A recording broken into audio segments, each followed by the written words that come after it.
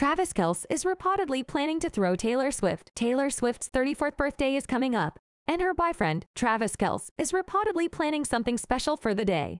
The football tight end, 34, has even arranged an event for her, and their romance has felt effortless so far, according to a report published by Life and Style on December 7. He's arranged a very intimate romantic dinner just for the two of them, and is also trying to pull off a semi-surprise party with the help of some of her closest friends, an insider told the outlet. When it comes to the couple's relationship, the source also noted that they're surprised at how seamlessly they've been able to blend their lives, and added that uniting each other's families has been effortless. Earlier this week, the lover artist broke her silence on her and the athlete's relationship.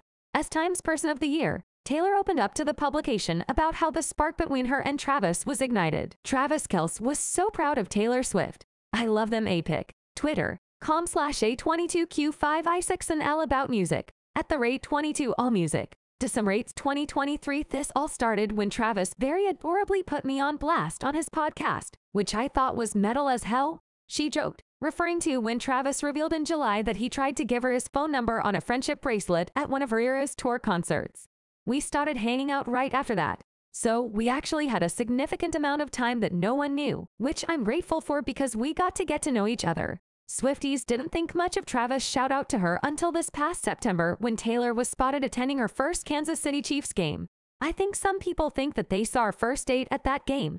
The Grammy Award winner explained to the outlet, We would never be psychotic enough to hard launch a first date. When you say a relationship is public, that means I'm going to see him do what he loves.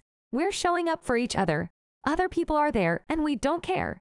The opposite of that is you have to go to an extreme amount of effort to make sure no one knows that you're seeing someone. And we're just proud of each other.